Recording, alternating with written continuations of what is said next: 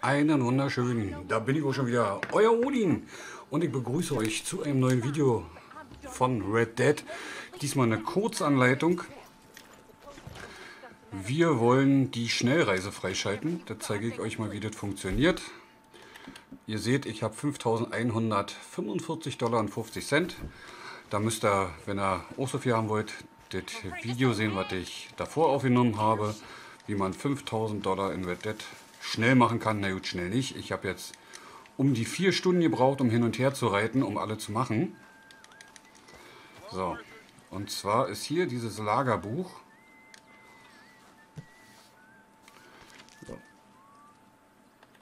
Und da brauchen wir hier die Zelte. Das können wir natürlich nicht holen.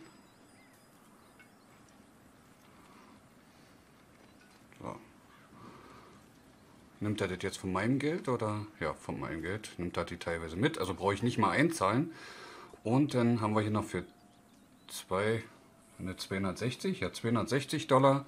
Das nächste, das nehmen wir jetzt auch gleich. Geht auch von meinem Geld flöten.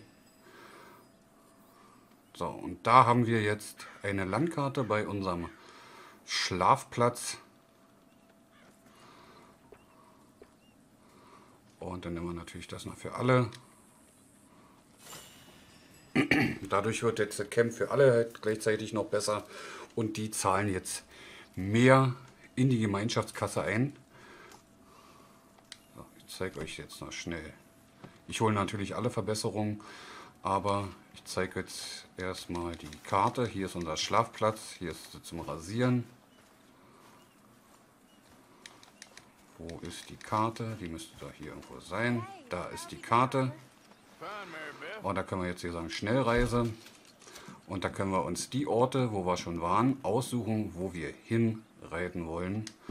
Das dauert dann immer ein Stück, da kommt dann so ein Ladebildschirm.